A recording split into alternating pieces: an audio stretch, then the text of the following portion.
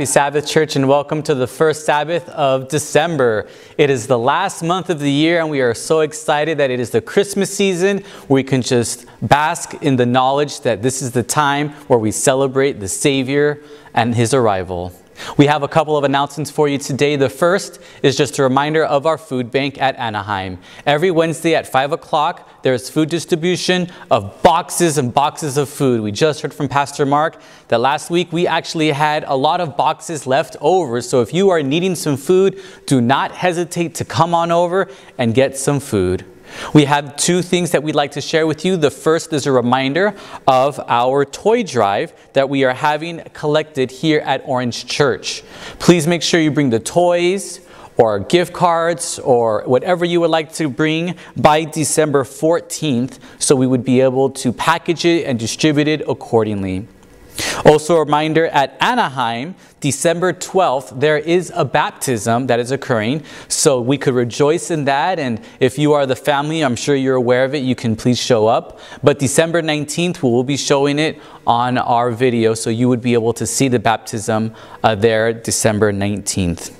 We also want to share with you some exciting news and activity that we plan to have here at Orange Church is on Friday, December 18th at 7 p.m. here in the parking lot. We're going to have some Christmas caroling. If you would like to come and sing or you want to contribute with an instrument or you would just like to come and be in the festive uh, participation of it all, we invite you to come. Put that on your calendar and please come and join us. It will be a great time right here at Orange Church in the parking lot, Friday, December 18th at 7 p.m. You have a blessed day and happy Sabbath. Our opening hymn for this morning is a beloved one, number 115 in our hymnals, O come, O come, Emmanuel. We, not unlike Israel, are eagerly awaiting our Messiah. So sing this with the yearning in your heart. Come quickly. O come, O come, Emmanuel and ransom captive Israel that mourns in lonely exile here until the Son of God appear. Rejoice, rejoice, Emmanuel shall come to thee, O Israel. O come, thou wisdom from on high, and order all things far and nigh. To us the path of knowledge show, cause us in her ways to go. Rejoice, rejoice, Emmanuel shall come to thee, O Israel.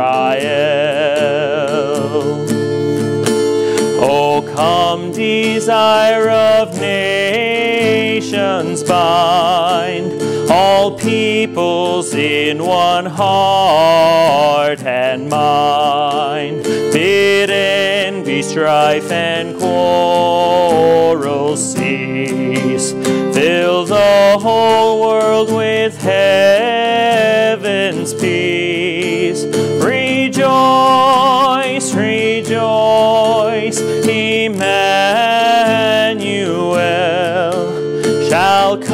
to thee, O Israel.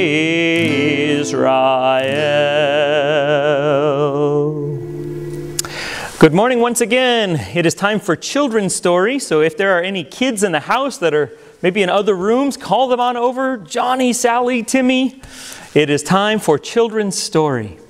Boys and girls, I have a surprise for you today, and it's a delicious surprise. When I show it to you, your, your salivary glands might start going, and that's okay if they do. Something that is a Christmas treat that I enjoyed as a kid is a Candy cane, yummy, yummy, yummy. When I was a kid, I used to lick these candy canes and suck on them, and I never thought about a significance to them other than that they were sweet and yummy.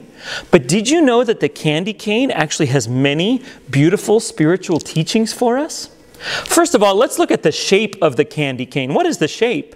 And you could say, well, it's a cane, Pastor Mark. It's kind of like what people use to walk around sometimes. And that's true, I suppose. But if you look at it, it also looks like a shepherd's staff. You, have you ever seen a picture of a shepherd and they kind of use it as a walking stick and it has this hook on the end of it? How do we have an illustration in the Bible about a shepherd? Do you remember a very important place in the Bible, Psalm 23, that says, The Lord is my shepherd, and I have everything I need. I don't lack anything. And it says, Your rod and your staff, they comfort me.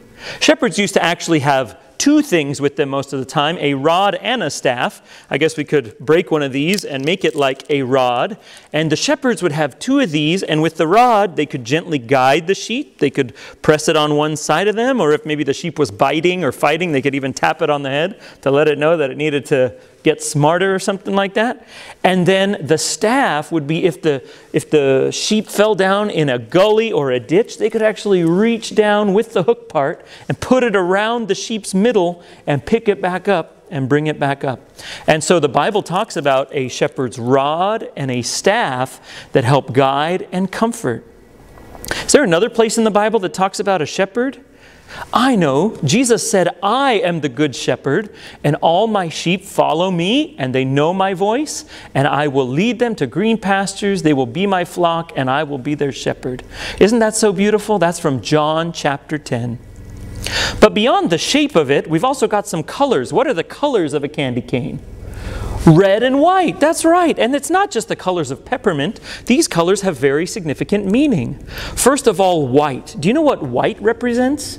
If you've ever been to a wedding, you might have seen that the bride dresses up in white. Why does she do that? And is that why it's on the candy cane too? White, many places in the Bible and also out in society, represents purity, that it's not spotted or stained or, uh, uh, or dirty or anything. And so white can represent purity. And of course, Jesus is absolutely pure. God is absolutely pure and beautiful. But we don't also have white, we have red. What would red represent, boys and girls? That's right, I think some of you got it. It represents the blood of Jesus. Friends, you and I could not be clean if it was not for the blood of Jesus that pours over us uh, metaphorically and forgives us of all of our sin. And so this candy cane represents both the purity of Jesus and the forgiveness Jesus brings with his blood. I want you to think of that next time you eat a candy cane. And there's one last thing about a candy cane, just in case we are prone to forget. I know that lots of boys and girls out there are learning their letters and learning to read. What letter does the candy cane make if you turn it over? It makes a J. J for Jesus, Jesus, the Good Shepherd, Jesus, the one who gave his blood and brings his purity to us in forgiveness. So, boys and girls, I hope you get to enjoy a few candy canes here over the Christmas holiday. But when you do so, don't just think of how yummy it is. Think of how beautiful it is that it represents Jesus, his love, his guiding presence, and his forgiveness. God bless you all. Another Sabbath has come, and it seems like we have a whole new whirlwind of concerns. We may be overwhelmed by it, but praise the Lord, we can entrust it to the hands of He who, by definition, cannot be overwhelmed. The Bible says to cast every burden, every anxiety, every care on Jesus. He cares for us so much, and He will see to it. As we prepare our hearts, let's sing the beloved song, I Cast All My Cares Upon You. I cast all my cares upon you. I lay all of my burdens down at your feet. And any time I don't know what to do, I will cast all my cares upon you. Let us pray. Kind Father in heaven, we thank you that we could be here on this day, your day. We thank you for this Thanksgiving season. where we can stop and pause and reflect on all the wonderful things that you have done for us. We realize that things are not exactly normal, but you are always in charge and you are in control. And even though we face difficulties, we know we can always trust in you and that you will be there and you will provide for all of our needs.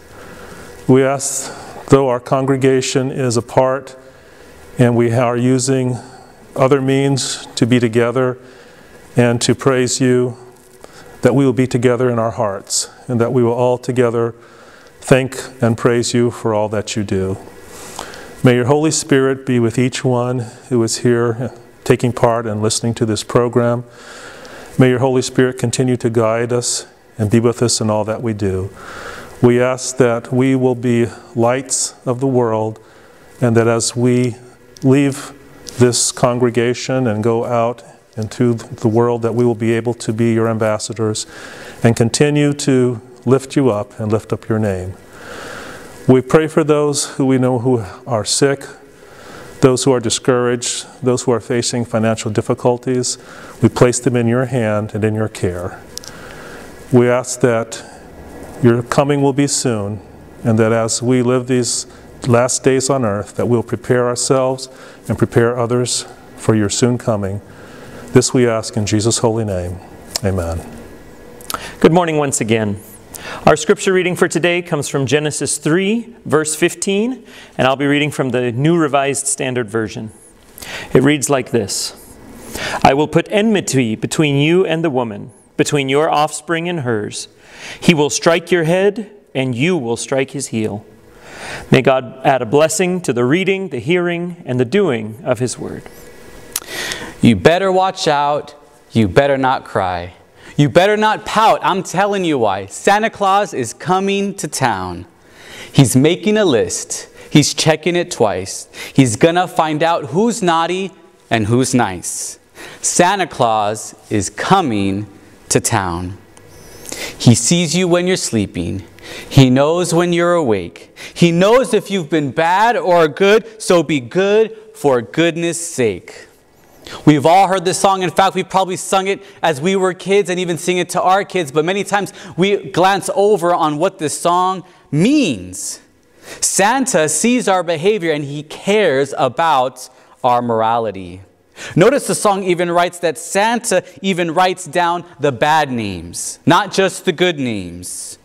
He wants to know who deserves a gift and who does not. You see, being good means you're going to be on the nice list. It means you're going to get a present. You're going to get a gift that Santa's been planning for, as the story goes, all year long with all the all the little elves creating these things all year long, putting energy and effort to make this such a special day, and you get a gift at the end of the year if you're good. Or you'll be on the naughty list. You're one who does not get a gift, as if to say, as Santa is flying over each house he sees a naughty house, he sticks his nose in the air and flies over and leaves. Regardless of what this year has brought or not brought, it doesn't change the newness that builds the excitement in this time of the year.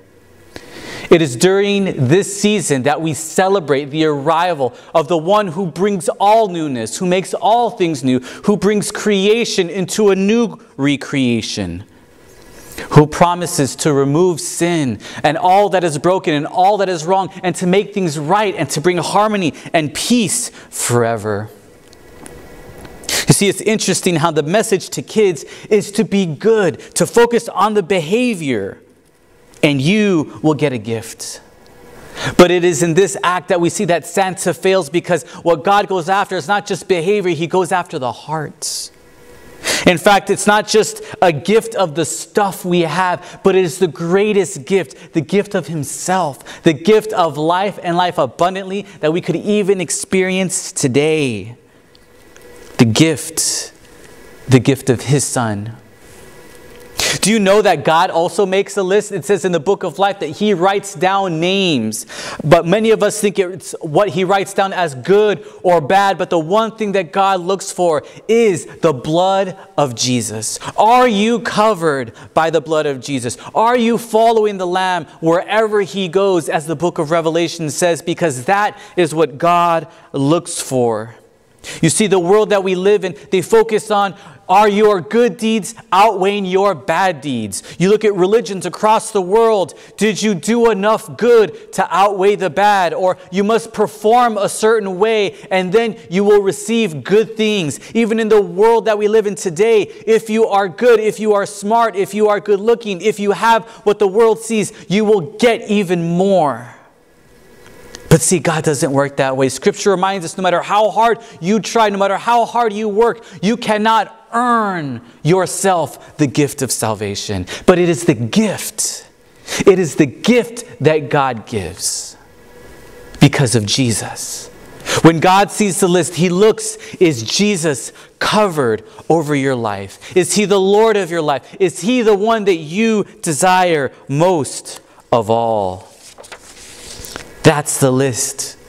Is Jesus in your life? Today we're going to start a series about a list that Jesus talks about, a list that God actually says throughout Scripture. And the good news is it has nothing to do with you, but what God has already done. We look at these messianic list of prophecies or future predictions of who the Savior is, what He's done, why He's doing it, and that no matter what you have done or not done, you can still be written in the book of life because of what He has done, because His blood covers your life, covers your sins. This is the season where we remember this is what the Savior has done, and we must receive that. If we are to be on that list, in that book of life, to have that chance at eternity. There are four major prophecies that uh, uh, uh, an author, Jacques Doukhan, writes in his book on the messianic prophecies. He talks about four specific prophecies, and in this series, we're going to be talking about just two of them. But before we begin, I'd like to open up with a word of prayer. Let us pray. Dear God, we are so grateful for the time of this season, of the joy that this time brings, because it is a time that we remember that you came, that you left heaven, that you left all that there is the joy, the beauty, the glory to come to this place. As prophesied long ago, you promised to come to this place because of our brokenness to save us in our destruction. God, we ask that as we turn the pages of Scripture, that you would remind us, that you would reinforce in our hearts and our minds that, God, it is you who does the work. And it is us who desperately need to receive it from you. Because, God, this time of the year and all of life really is about you. And so we ask that you would speak to us now. In Jesus' name we pray. Amen. The first prophecy that we find is actually in the first book of the Bible, Genesis chapter 3. As you turn there, I'd like to give you a little bit of background that God, as we said, has a list. But it wasn't a written list, it was a spoken list. How amazing is that? That God speaks and creation happens. The list begins, He created light, then He created the sky, and then He goes from there and He creates the land and the sea, and the plants and the moon and the stars and the creatures of the sea and the sky, and finally the animals and people. And then he finally takes a breath and he rests. And we know that he made that list because it tells us he made that list. But we know he checked it twice because at the end of each one it says he stood back and he said, Man, that was good. He made a list, he checked it twice, and he only made the nice. There was nothing naughty that God had made. He said it was good. Genesis chapter 2, verse 9 says this And out of the ground the Lord made to grow every tree that is pleasant to the sight and good for food. The tree of life was in the midst of the garden, and also with it the tree of knowledge of good and evil. God made everything perfect, He made everything good, He made everything wholesome. Something every parent would want for their child because even Jesus, in his own words, says this in Matthew what parent would give his child a stone? If they asked for bread, or a snake if they asked for fish. God only gives good things. This was God's gift to us. He made the list, He planned it even beforehand, and He gave it to us. But He gave us one command, just one. And we have the choice, the reminder, for better, for worse, to choose. Because in the middle of the garden, God puts in the heart of this beautiful place, God puts in all that is perfect and great, God puts in the middle the tree of knowledge of good and evil and the tree of life. In the middle. He didn't put it in a corner, He didn't hide it, He put it in the heart of the garden to remind us there is a choice. There's constantly a choice in life, no matter where you go in life. There is constantly a choice. And notice the emphasis. We may ask ourselves, God, what are you doing? Are you wanting us to fail? Are you trying to tempt us? What are you doing by doing this? It's reminded to tell us that wrong and right are that close to each other. The choice to choose God or not to choose God, they're that close to each other. Right and wrong are constantly side by side, no matter where we go. In the beauty of the earth or in the darkness that sometimes we may find ourselves, there is a choice. Right next to each other constantly. As the words of Joshua says, choose this day whom you will serve. In the midst of all life, wherever we find ourselves, there is a choice. And they're right next to each other. In the hearts of the garden. Whom will you serve? And this is why the enemy was so successful. Is because he knew what was right and he knew what was wrong and he knew that they were right next to each other, both trees. You always have a choice. And we get to choose.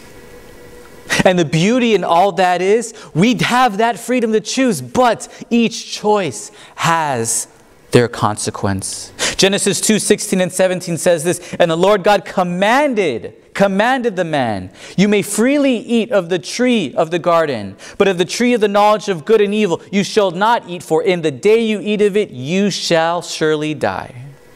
This is the setting in which Adam and Eve find themselves in. And in fact, this is the setting we find ourselves in each and every day. Choose this day. You have these choices in life, and whichever you choose, there are consequences to them. And God, in His graciousness, gave them the plan ahead of time. He told them, This will happen if you do this. Beware of two things that we find ourselves in in this story, that we also will find ourselves in our very lives. Notice the setting now that we find ourselves in. In Genesis chapter 3, verse 1, notice the elements and the characters and the players in this. It says, Now, in Genesis 3, verse 1. Now the serpent was more crafty than any other wild animal that the Lord God had made. I want to focus just on two descriptions, just two. The first is this word crafty. This word crafty. This word crafty actually is a Hebrew word that means arum, and it literally means prudence. It actually means wise. We look at this word and we think of something crazy or devious, and that's, that, that's the other part of it. But this word actually means prudent. It means wise, but it also tags it with another word. It's the understanding of truth, but to wield it for your own pleasure. In other words, in the shrewdness and the management of your own affairs. You have the wisdom to do something, and yet you do it and use it for evil. This is what crafty means. Because did you even know that Solomon was wise, the wisest man that ever lived? But even he made the grave mistake of using it for his own pleasure, of using his wisdom for his own affairs. Something that God had given to him, used it for himself. How true is that in the person of Satan? How true of that who knows the Bible inside and out to use it for his own pleasures? How true is that of some people with the powers in the world that we live in who have the knowledge, who have the capacity to use things and yet use it for evil? How true is that even for you and for me who know the truth and sometimes choose not to use it or do it correctly? We have been entrusted with the Word of God. We have been entrusted with the gift of the Holy Spirit. How are we using it? Are we doing the same as the enemy and using the wisdom for our own ways? Are we ourselves being crafty? And the second is the word wild. Why does God put in the text wild. Aren't animals automatically wild? Why the reference to the word wild? Isn't that just assumed? I think it's to make a point. So, see, an animal is not only free. When we say wild, they're free. They could do their own things, which is amazing and it's beautiful. But wild also means they act on their instincts, they act on what is innate to themselves. And in places where it is to act on its own ways, its own untamed ways, it could be destructive. Which is why God Himself told Adam, name the animals, give them a name, build a relationship, lead them, guide them, have dominion over the land, over the earth, lead and guide them. As if to say, you and I can easily fall to the crafty ways of the enemy. We could fall to the wildness that is in ourselves from the sin that we live in. We couldn't fall unless we are following someone who can direct us, someone who can guide us, someone who, in a sense, could tame us and show us the right way of living. Because if not, it is very easy to go astray to our own ways. We see in Revelation chapter 12 that the serpent himself, the great deceiver, deceived a third of the angels redirected them, was crafty, used the wisdom from God that he'd been given for his own ways, and pulled a third of perfect angels. See, like Adam and Eve, we are given wisdom from God, but we can use it to satisfy the wildness of our hearts and live in untamed, impulsive, and destructive ways as the crafty serpent. We need Jesus to guide us in the right ways, or we too can live a life of cunning, self seeking, and crafty ways. It is important, church, that we know the truth it is important, church, that we follow the truth. It is important that we are aware that the, the options to choose between right and wrong are constantly right in front of us, even in the Garden of Eden, even in complete perfection and beauty. The choice was constantly in center, right in front of them. Notice the parts that Adam and Eve played and that you and I even play today and how it looks in our lives. Genesis chapter 3 verse 3 says this, as the serpent came, he said this to Eve You shall not eat of. Genesis chapter 3, verse 3. And it says, The woman said to the serpent, We may eat of the fruit of the trees in the garden, but God said, You shall not eat of the fruit of the trees that is in the middle of the garden, nor shall you touch it, or you shall die. But the serpent said to the woman, You will not surely die. For God knows that when you eat of it, your eyes will be opened you will be like God, knowing good and evil. So when the woman saw that the tree was good for food, that it was a delight to the eyes, and that the tree was to be desired to make one wise, she took of it, of the fruit, and ate. And she also gave some to her husband, who was with her, and he also ate. Church, knowing the truth is important. It is crucial. And notice Eve gives two inaccurate references. The first is the location versus the description. Notice her words. She says, The tree in the middle of the garden is forbidden and you can't touch it. Genesis 2 9 tells us the tree of knowledge of good and evil was in the middle of the garden, but what else was in the middle of the garden? The tree of life. She was just pointing, oh, the tree in the middle. The tree in the middle. This is important, church, as we're going to go on. The other thing is, she says, You cannot touch it. And it says, You shall not eat it. Why is this important? Because the devil is constantly bombarding us every single day. And if we cannot speak the truth to him, we're in trouble. Notice when Jesus himself was inside the wilderness and he was being tempted by the devil, Jesus only spoke truth. He spoke the words of Scripture. He said, the, It is written, and he spoke. It is written, and he spoke. Every time the devil tried to come at him, he did not shy away. He did not point in generalities. He spoke specifically. This is the word of God, and I'm going to stand on it. Eve did not know the truth, and she was led astray.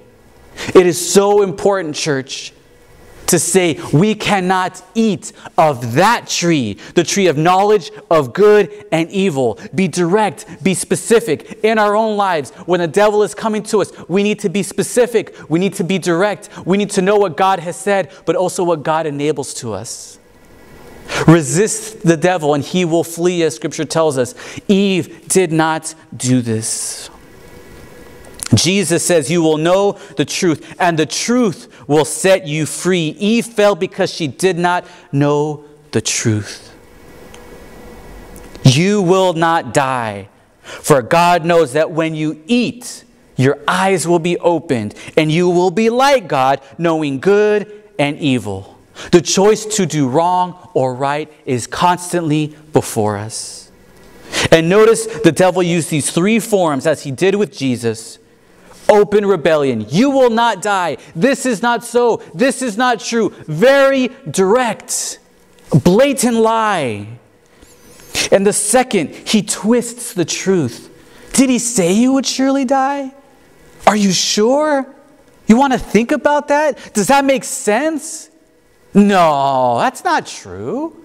Think about it. And the last one, he tries to distract us to distract us with something else, to distract us with something that we might like, to distract us with something that would be appealing to us. He says, You will be like God. This past week, there was a world famous boxing match between Mike Tyson and another gentleman. And, this, and Mike Tyson hasn't been boxing over 15 years, and the one he battled was just retired for about three years. And they went into this boxing match, and it was epic, and everyone was watching. And the horrible news is that it came out to be a tie. And so it was news, but it wasn't as much news as the fight before. Because the fight before was a former NBA player, and he was bragging how he would destroy the opponent who is a boxer. He's a basketball player, and he says, I'm going to shock the world. He was training, he was battling. He says, I'm bigger, I'm stronger, I'm faster. And he was knocked out in the second round. Completely cold, lying there, knocked out basketball players started joking and responding on Twitter and social media. One even said, I see no lies. Because he literally shocked the world by getting knocked out so quickly. Like Adam and Eve, we might say, I'm going to shock the world. Wow, the devil's giving this to me. I'm going to shock the world. I'm going to I'm going to do something great. I'm going to do something awesome by trying to do it our own ways. And here comes the devil trained with the knowledge. He knows the truth. He twists it. He knows it inside and out and he's trained for this and we get knocked out time after time. In his embarrassment, Nate Robinson took himself also off social media. He still hasn't responded. He's been humiliated, shamed, embarrassed. What's going to happen, we still don't know. We can say the same of Adam and Eve. They were shamed. They were embarrassed. They sewed fig leaves. They hid behind trees. And what begets one lie continues to a next. What begins as something that's a secret begets another secret. We don't, if we don't have Christ in our lives, we're constantly going further and further in that direction. And we hide behind the comforts of life. We try to hide behind our accomplishments or, or maybe our significance, or, or simply we just try to control things. These are the fig leaves. These are the trees that we try to hide behind. But notice it says that God came after them and he came walking after them. Isaiah 1 tells us, Come now, let us argue it out, says the Lord. Though your sins are like scarlet, they will be like snow. Though they are red like crimson, they shall be as wool. Jesus came after them. He came after them. You know, church, I really believe that Adam and Eve's consequences would have been drastically different if they responded differently. Because Jesus even gave them a chance on top of the structure, on top of everything that he gave them, on top of, top of telling them what the consequences would be, he still came after them and he asked them, What happened? And what did they do, church? They just blamed each other. The gift that God gave in each other, they blamed each other. The gift that God gave them in the world, they blamed that. They blamed the serpent. They couldn't take responsibility based on their own words, on their own misgivings the consequences came. The curse came. It wasn't just the actions and God gave them a consequence. No, He talked to them. He gave them an opportunity. He gave them an option. And, church, I tell you today, that's what God does with us. Even after messing up, even after checking the list twice, God still reaches down and comes to us and reasons with us because that's the God we serve. And the consequences came in the form of the curse. It says, Cursed is the snake who will now crawl on his belly. Cursed is the woman who will now have birth pains increased. And the man will no longer just walk through life in ease, but it will be painful. Death will surround the earth. Wherever you go, there will be death. It will be hard for you to work by the sweat of your brow. There will be death. It will be difficult. It will be hard. It will be painful. And you will do everything you can to make it work, but it will still be a struggle. That is the curse that will be in this world.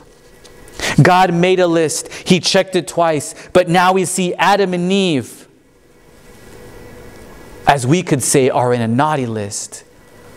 But does God take away the gift? Does God take away the promise? Does God write them off? No, God stepped in in Genesis 3:21 it says, "And the Lord God made garments of skin for the man and for his wife, and he clothed them." The first death we see is of an animal sacrifice, and God took off their shame and he put on his forgiveness. He put on his blood. He put on that forgiveness towards them and say, "You can still live." You will still be on this earth. God even had a backup plan to his backup plan. God didn't treat them as they deserve. He doesn't give up on Adam and Eve when they even gave up on themselves. Church, God has not given up on us. He hasn't given up on his church. He hasn't given up on humanity. He hasn't given up on this world because, regardless of what we are experiencing in this day and age today, as horrible as this year has been, it does not compare to the first sin, to the fall of humanity, which became a dark comparison.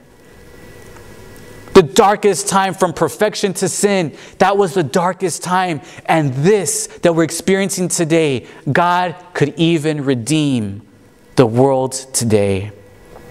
This prophecy of Genesis 3:15 says this, I will put enmity between you and the woman, between you and the offspring and hers, and he will strike your head and you will strike his heel. This is the messianic prophecy. This is the prophecy that God gave long ago that Jesus is going to come to this world, to this earth, that regardless of your shortcomings, of my shortcomings, of Adam and Eve's shortcomings, it depends on Christ to step in and to restore what was lost because He's the only hope we have.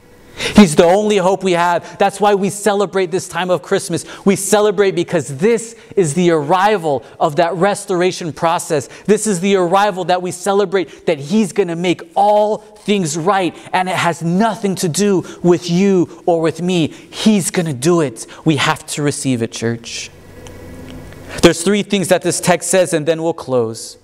The first thing is it says, I will put enmity, this iba, this hatred. I'm going to put this hostility between you and the snake, between this woman and the snake. And there was hatred, there was bitterness. From here on out, God made that happen. And in this day and age, we might use a different word. We call that a trigger. People are triggered by things. People are triggered by things that they don't like or, or, that they may be obsessed with. And, and God created a trigger between us and the devil. He put that there.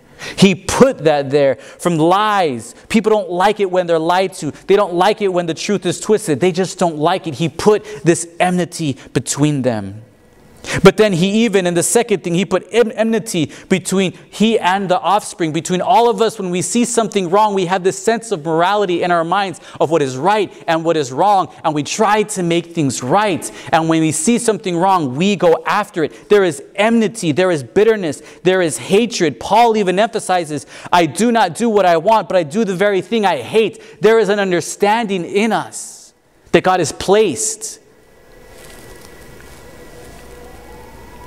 And no matter how hard we try to fight it until we get to heaven, this is what it's going to be.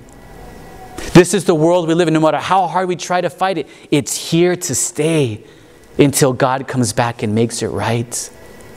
This is the world we live in, church. It's a prophecy, it's promise. This is the world we live in. There's hatred between it.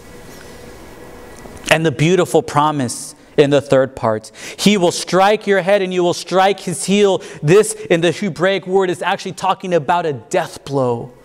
There will be a death blow between an offspring, and the word used here is of a specific offspring, of a specific person, and refers back to the person who says, I will put enmity, meaning God Himself will suffer a death blow.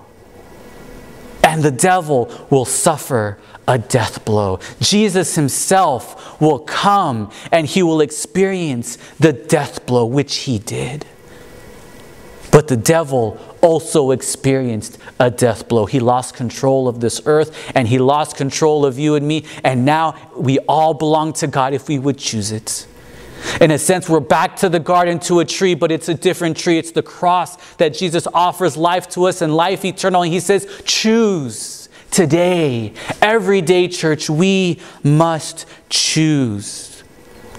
It was a death blow. But God constantly makes the list. He checks it twice and then He remakes the list again to give you a chance to have a gift of eternal life. In the late 1800s, there was Reverend R.R. Harrison. He had company over his house and he had a famous chess player named Paul Morphy join his company. As the evening went on, Paul Morphy, this famous chess player, noticed the painting on the wall from Moritz Retzsch, and the title was Checkmate. It depicted three characters an angel, the devil, and a young man. And the devil had apparently won the game, and you could see the young man's face of defeat as life as itself was over because he had lost. He thought he would win against the devil this game of chess, but he was outwitted, outsmart, outdone, and he was defeated, staring death in the face.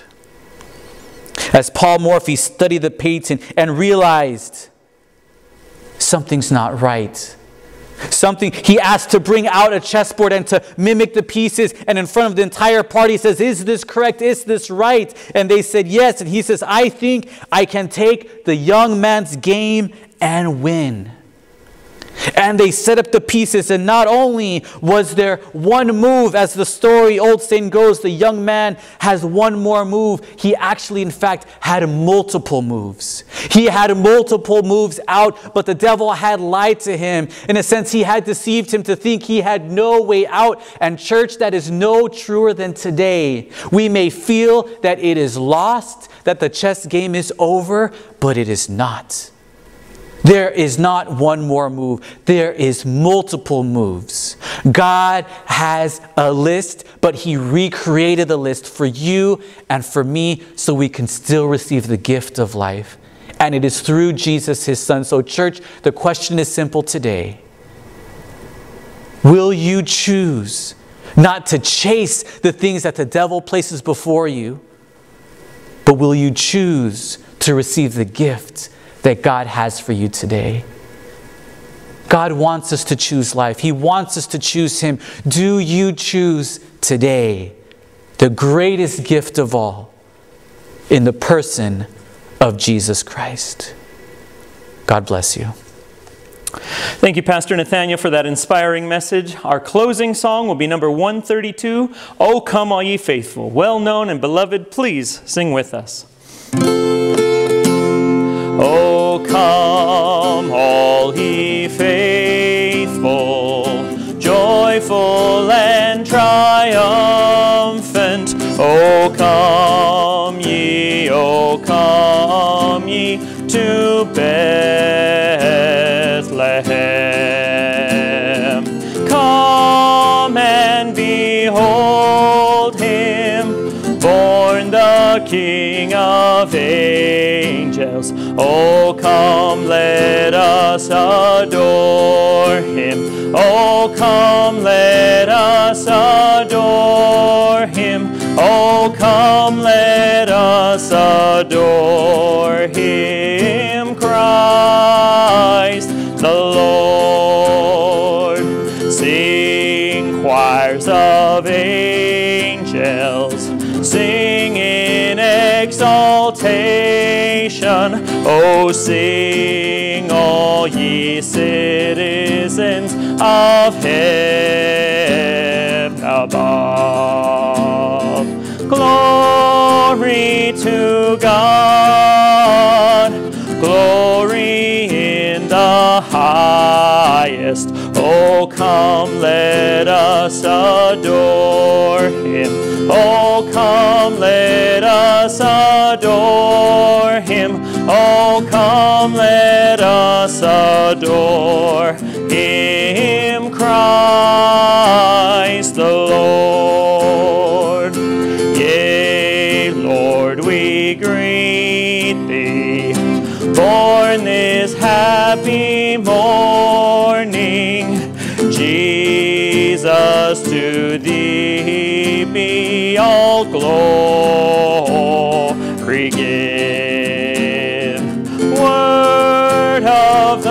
Father, now in flesh appearing. Oh, come, let us adore him. Oh, come, let us adore him. Oh, come, let us adore him, Christ the Lord. Let us pray. God, we find ourselves together again, not physically, but in spirit. During this time where we acknowledge and celebrate when you came to this earth, this dark place, this hopeless and helpless place, you came because of who you are. God, we ask that you would open our eyes that much more to this truth because the devil is constantly bombarding us with distractions, with lies, with things that he wants to satisfy with to take us away from the truth that you are the one who gives us life. God, open our hearts that we might receive the beauty of the cross that you love us so much. God, open our beings that we may be able to follow you wholeheartedly during this season where we say, You came to this dark place. God, I ask for my brothers and sisters, wherever they may find themselves, to trust God, the same God who came to this earth and who died, will come soon. And we can trust, God, that you will fulfill your promise. Guide us, inspire us, draw us closer to you, that people may see you and fall in love with you all over again. We ask this in Jesus' precious name. Amen. I was always really interested in startups and I had always really been interested in technology and specifically 3D printing. One night I was watching a video from Stanford and there was Tim Draper who was a billionaire investor and he said, I've got a school coming out and you can apply and so it was like right before sundown on a Friday night and so I like applied super quick and then I got an acceptance right away. And so that kind of started me out on my journey to become a, a, startup founder. Through joining YC, you know, really learned about how fast things can change, how fast things can improve. And these people are investing in you. They're giving you money because they think that you can do great things. You know, really applies to my spiritual walk and how I've thought about that and how I know I can ask a lot more of God because He's expecting a lot of me. I'm a steward because God expects great things.